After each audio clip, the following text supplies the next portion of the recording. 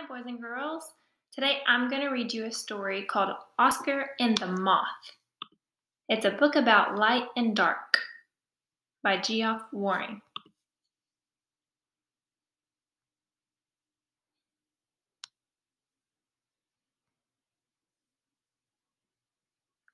One summer evening, Oscar lay on a warm back step.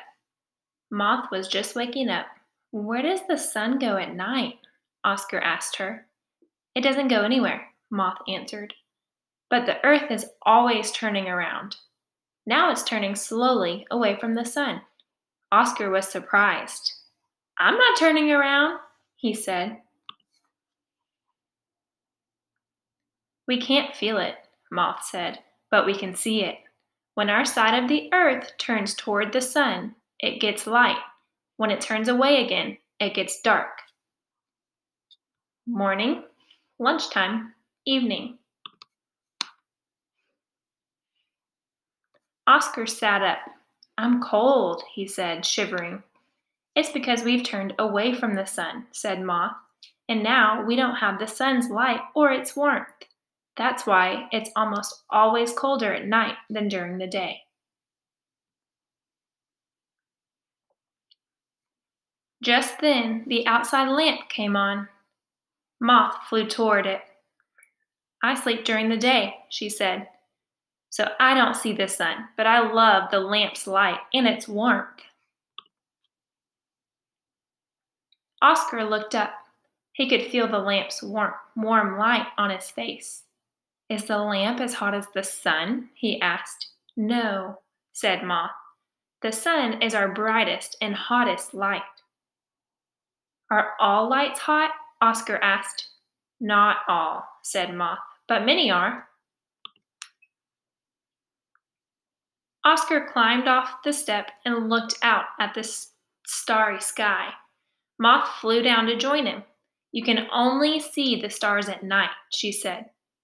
They are always shining, but you can't see them during the day because of this, the light from the sun. Our sun is a star, too.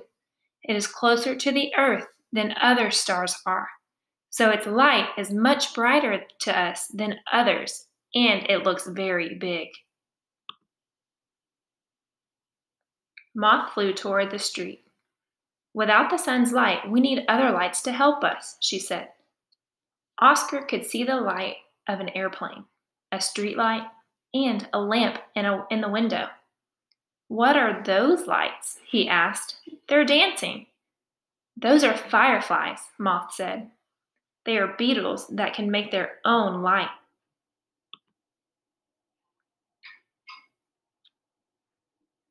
And she told Oscar about how some living creatures make their light in their own bodies. Male fireflies wait until the dusk to fly up and show off the female fireflies by flashing light signals. Miscellanean land snails wake up at night and flash green signals to each other. The sun's light does not reach far into the sea, and many sea creatures make their own light. If anything tries to eat a swordfish squid, it squirts a glowing ink cloud. This dazzles the hungry fish, allowing the squid to escape. The rim of a crystal jellyfish glows green when it is disturbed. There's a poisonous millipede found in California that lights up at night to warn other animals not to eat it. The anglerfish lives in the deep sea.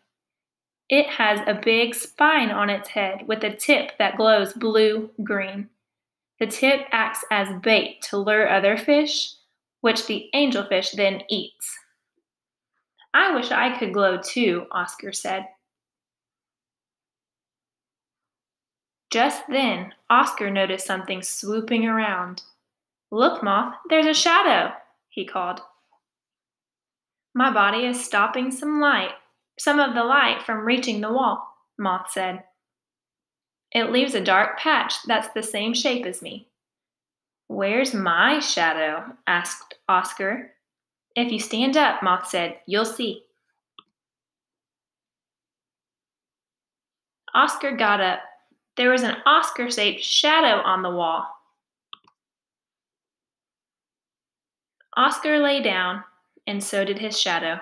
He closed his eyes. The dark behind his eyelids made him feel sleepy. Is it nearly morning? he said with a yawn. Not yet, Oscar, said Moth. But Oscar didn't hear her. He was already dreaming about the bright sun, the shiny stars, and deep sea fishes. Think about light. Talking with Moth, Oscar found out that light comes from many different sources the sun, lamps, stars, living creatures. Some lights are brighter than others. Many lights are hot.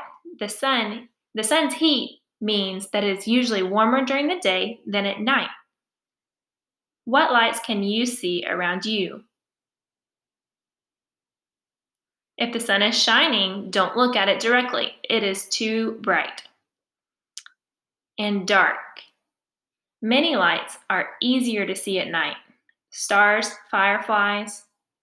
When we don't have the sun's light, we need other lights.